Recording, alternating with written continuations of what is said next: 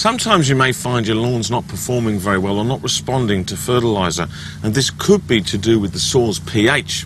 Now, pH is a measure of acidity and alkalinity, and Sir Walter lawns like to be in the 6 to 7.5 range.